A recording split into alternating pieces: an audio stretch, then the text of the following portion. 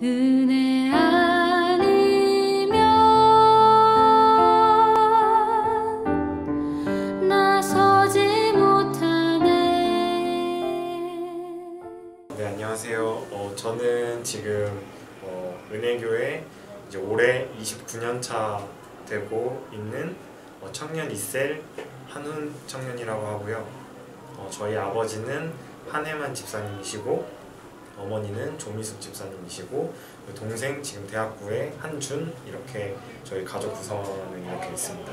일단은 말씀드렸다시피 제가 29년 차 은혜교회를 다니다 보니까 모태신앙으로 이렇게 부모님의 신앙을 이어받아서 그렇게 이제 교회에 다니게 되었고 그리고 제가 인격적으로 뭐 하나님을 만나고 체험한 때는 제가 고등학교 2학년 때 11년 전에 이제 교회에서 주최하는 학위 수양회 통해서 제가 인격적으로 하나님을 만나고 그러면서 이제 부모님의 신앙이 아닌 저만의 이제 신앙이 생기게 된 그때가 이제 고등학교 2학년 때였던 것 같습니다.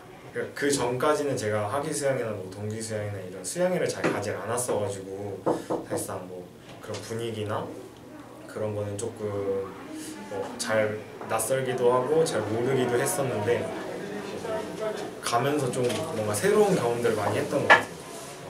찬양도 조금 은혜되는 찬양도 굉장히 많이 하기도 했었고 그리고 또 말씀도 이제 제가 처음으로 좀 많이 집중해서 좀 들었던 것 같고 제가 처음으로 좀 울면서 찬양하고 기도했던 때였던 것 같아서 전 그래서 조금 많이 기억에 남고 제가 좀 그때부터 또 이제 수양이나 이런 것도 좀 가게 되고 그리고 그리고 나서부터 제가 이제 뭐 봉사라든지 이런 것도 좀 하게 됐던 그런 계기가 됐던 것 같습니다. 네.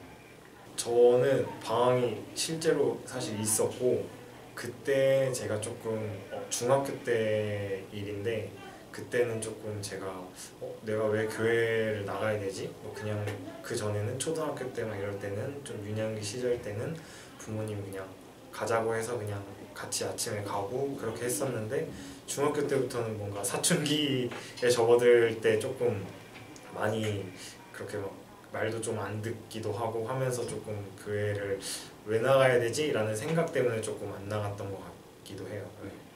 그래서 그런 시기가 사실 조금 지속이 되다가 고등학교 2학년 때 이제 김수홍 목사님이라고 이제 SFC 때 계셨던 목사님 계신데 그분께서 이제 수양에 한번 가보지 않겠냐 이렇게 말씀해 주셔가지고 계속 이제 안 가겠다 안 가겠다 하다가 미루다가 이제 결국에는 가게 되었는데 제 인생에 굉장히 도움이 많이 됐던 수양회여가지고 지금도 이제 연락하고 하면서 목사님께 되게 감사하다 이렇게 얘기도 하고 그렇게 네 되었다. 어 인생의 터닝 포인트라고 하면은 그러니까 저는 딱 그때가 고등학교 2학년 때가 제 신앙적인 그런 좀 전환점이기도 하고 그리고 인생의 전환점이기도 하거든요. 그 전까지는 진짜 그냥 뭐 학원 다니고 뭐 학교 다니고 하면서 공부나 이런 쪽에 조금 더 제가 신경을 많이 쓰고 그런 핑계를 대면서 사실 교회를 빠지기도 하고 그랬었는데 그때부터는 제가 아, 교회는 무조건 나가야지 주일 성수해야지. 어, 내가 뭔가 교회에 뭐 어떤 도움이 될지 이런 것도 생각해보게 되고 조금 사람이 조금 많이 변했던 것 같아요. 그래서 뭔가 제 그냥 사회에서 생활하는 그런 중심이 아니라 뭔가 교회 중심으로 좀 그런 게 좀 많이 바뀌고 그렇게 되었던 것 같습니다.